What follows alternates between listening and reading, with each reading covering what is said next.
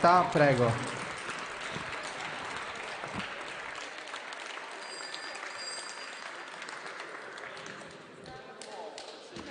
Sì, grazie Presidente.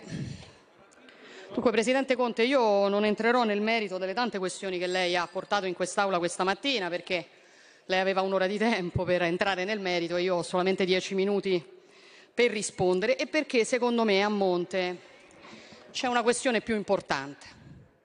Vede, anche stamattina noi vediamo una cosa già accaduta. Lei ha fatto una conferenza stampa, poi ha reso noto il decreto del Presidente del Consiglio dei Ministri con i quali prendeva le sue decisioni e in ultimo, con calma, è venuto a informare il Parlamento di queste sue insindacabili decisioni. Ora, io voglio dirle con chiarezza, con pacatezza, ma con determinazione, che noi questo non lo consideriamo più tollerabile. Lo voglio dire con determinazione e con pacatezza. Lo abbiamo consentito all'inizio, le abbiamo dato una mano, abbiamo sostenuto quei provvedimenti, ma sono passati tre mesi dalla dichiarazione dello stato d'emergenza. Sono passati due mesi dal primo decreto che entrava libertà, nelle libertà delle persone e non c'è alcuna ragione al mondo, dopo tre mesi, di continuare con gli stessi metodi se non il fatto che questo governo ritiene di poter utilizzare l'emergenza del coronavirus per accrescere il suo potere personale, la sua visibilità personale. Non c'è alcuna ragione al mondo, Presidente Conte. Mi dispiace. In due mesi lei ha fatto dieci conferenze stampa. C'è qualcuno sta pensando di raccoglierle, di venderle a fascicoli in edicola. Poi si mettono nel cofanetto il decreto. Dieci conferenze stampa in due mesi, sempre di sera, sempre a ridosso dei TG. I suoi collaboratori ci dicono che non sono reti unificate perché si può anche decidere di non mandarle. Grazie. Però omettete di dire una cosa importante.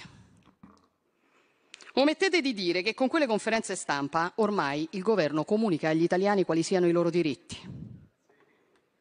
Omettete di dire che gli italiani per sapere cosa possono e non possono fare devono sentire le sue conferenze stampa perché in Italia non fa più fede la Costituzione, non fanno più fede le leggi, fanno fede unicamente i decreti del Presidente del Consiglio dei Ministri.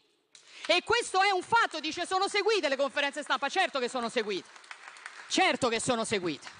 E lo sapete benissimo anche voi, lo sa bene lei, lo sa bene il capo della sua comunicazione, non è forse neanche un caso che lei utilizzi termini tipo devo fare i nomi e cognomi come se stesse facendo le nomination del grande fratello, Presidente Conte. Non è un caso, però l'Italia non è un reality show, questo non è un reality show e noi non consentiremo che questo diventi un reality show. Allora, la domanda che io ho da fare è: è normale che la Costituzione, fonte primaria di ciascun diritto dei nostri cittadini, sia sostanzialmente sospesa? E che ci siano tra coloro che la sostengono eh, alcuni che dicono che insomma è giusto, è normale. È normale che neanche di fronte ai rilievi non di Giorgia Meloni, la pericolosa, irresponsabile Giorgia Meloni, ma dalla Presidente della Corte Costituzionale, che ha fatto un richiamo molto duro al governo su questo tema, vi poniate il problema. È normale che in Italia la fonte primaria del diritto siano diventate le FAC pubblicate sul sito della Presidenza del Consiglio dei Ministri, le risposte alle domande frequenti. Perché in 70 giorni avete fatto 218 atti dei quali non si capisce assolutamente niente e la gente vi deve chiedere in ginocchio di avere una risposta chiara. È normale. Io penso che tutto questo non sia normale. Lo voglio dire, mi assumo la responsabilità di quello che dico, perché signori, e lo dico a tutti i membri di questo Parlamento, quello che sta accadendo è un, è un precedente pericoloso nel nostro ordinamento, se noi non ci diamo delle regole. E eh, come ci siamo arrivati?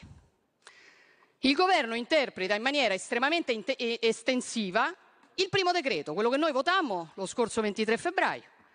Quel decreto autorizzava il governo a emanare decreti del Presidente del Consiglio dei Ministri in alcune specifiche zone, in alcuni specifici settori, e però alla fine arrecava la locuzione ulteriori misure di contenimento.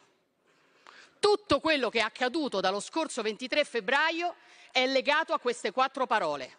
Signori, sostenere il principio che la locuzione ulteriori misure di contenimento consenta in Italia di sospendere la Costituzione italiana è un insulto a questo Parlamento e allo Stato di diritto di questo, che questo Parlamento deve garantire e difendere.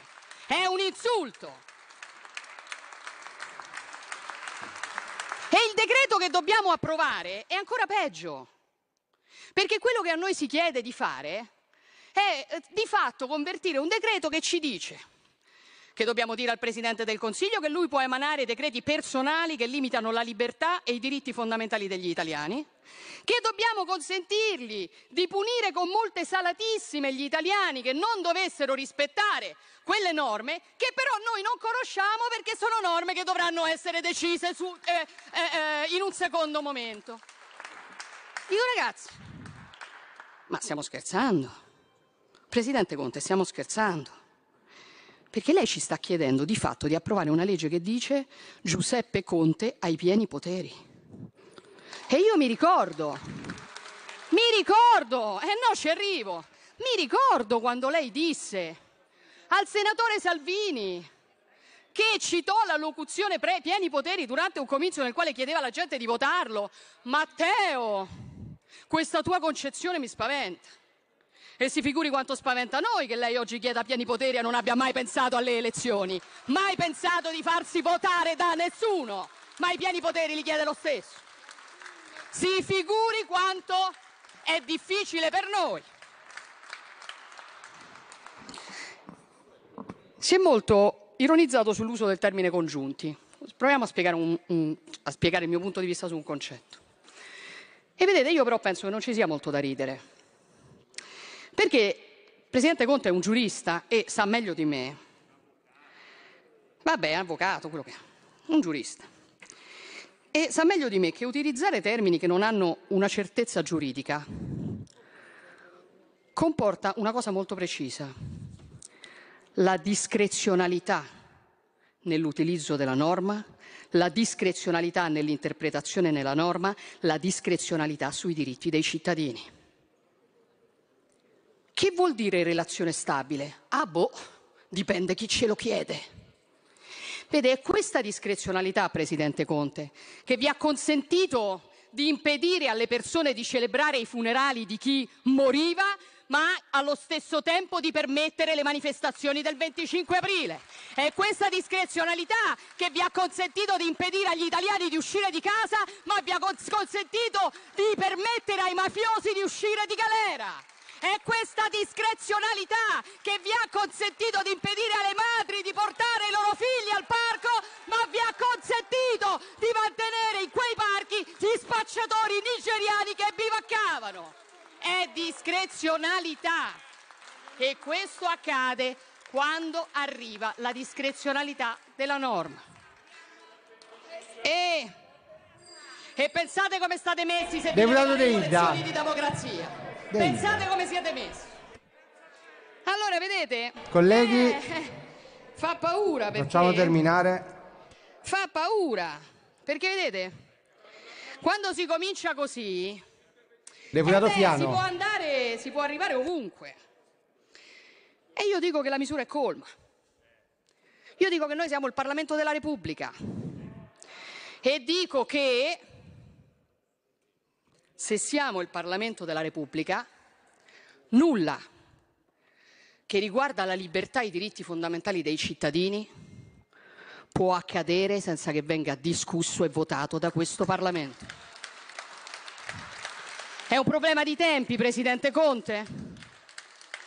Noi lo diciamo da un paio di mesi, i colleghi della Lega lo stanno dicendo in queste ore, siamo pronti a stare qui giorno e notte, H24. Ma non usi il tempo come una scusa, perché non è per colpa del Parlamento che non avete ancora pagato la cassa integrazione, non è per colpa del Parlamento che le imprese non hanno ancora visto un euro, è per colpa vostra. Allora sa che può fare? Lei può emanare i decreti del Presidente del Consiglio dei Ministri per pagare oggi la cassa integrazione, per far arrivare oggi i soldi nelle tasche dei cittadini e il Parlamento invece si occuperà delle norme che regolano la libertà e i diritti fondamentali di quei cittadini. Si può fare? Perché altrimenti Altrimenti, diciamo, qualcosa non va. Che la Costituzione la possiamo sospendere, la burocrazia no. Eh, qualcosa non torna, scusate. Allora, io penso che questo dibattito debba tornare in Parlamento, che non ci può essere una fase 2, una fase 3, una fase 4, una fase 100 che non sia approvata e discussa da questo Parlamento. Ovviamente questo attiene anche alle materie economiche. Su qualunque tema si sia discusso in queste settimane abbiamo fatto le nostre proposte, abbiamo cercato di rappresentare le tante categorie che ci stanno chiedendo il loro aiuto, continueremo a farlo, purtroppo quelle proposte sono state tutte gettate in un cestino da quello stesso governo che va in televisione a parlare di disponibilità al confronto, ma magari le cose possono cambiare domani. Perché vedete, vede, ci sono proprio delle cose che non funzionano. Sentivo il collega Orlando parlava delle banche. Vi siete accorti che avete fatto un decreto liquidità che consente alle banche di utilizzare la garanzia statale del 100% non per erogare nuovi prestiti, ma per rientrare dei prestiti pregressi, dando solo il 10% in più alle imprese che lo chiedono? Vi siete accorti che molte di quelle banche stanno raccontando ai loro clienti che è un obbligo dover rientrare del pregresso? Non ve ne siete accorti perché sta accadendo. Sta accadendo. Eh, magari che su questo possiamo dare il nostro contributo. E allora, vede, noi vorremmo discutere qui la fase 2, abbiamo le idee molto chiare su quello che dal nostro punto di vista dovrebbe accadere, ci si dice che siamo irresponsabili perché oggi parliamo di, di riaperture, ma non accetto neanche questa accusa. Fummo i primi a chiedere misure di contenimento e anche allora, tra un aperitivo a Milano e una cena al ristorante cinese, ci dissero che eravamo irresponsabili. Siamo irresponsabili sempre. Ma siccome invece siamo dei responsabili, siamo le persone molto responsabili, abbiamo elaborato i dati anche col nostro ufficio studi per capire quale sia il grado di letalità del coronavirus, territorio per territorio, per territorio, provincia per provincia. Avevamo chiesto a voi di farlo, non lo avete fatto, lo abbiamo fatto noi. E quei dati, insieme a quelli che fornite, ovviamente, che fornisce l'Istituto Superiore di Sanità, la Protezione Civile, ci danno delle certezze su questo virus e ci dicono alcune cose precise che noi non possiamo non tenere in considerazione nel momento in cui dobbiamo decidere le riaperture. Primo, il virus ha una letalità altissima per gli over 70 è molto pericoloso per gli over 60, ha una letalità quasi nulla al di sotto dei 60 anni. Non possiamo non tenere in considerazione un dato di questo tipo. Si avvia a conclusione? Colleghi, Presidente, però, colleghi, io non sono un colleghi, sono una persona che legge deputa- i dati. È molto difficile parlare con qualcuno che ti insulta tutto il tempo dietro. Se per cortesia poi mi... De- come... Lovecchio, deputato Lovecchio. Gli italiani Deputato la Lovecchio. casa, Presidente. Gli italiani Deputato vorranno la Lovecchio. casa. Per me non è, Continui. un, non è un problema, è solo un problema di concentrazione, ovviamente, perché... Prego.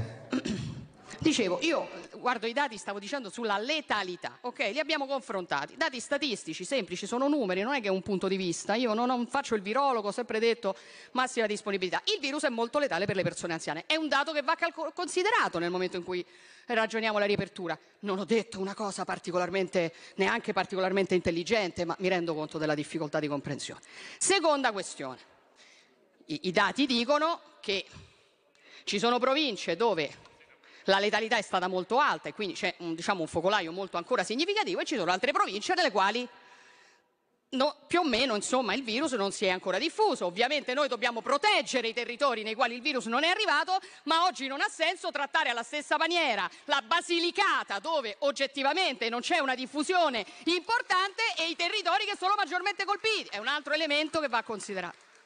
Terzo elemento, io penso che sia assolutamente sbagliato riaprire per settori.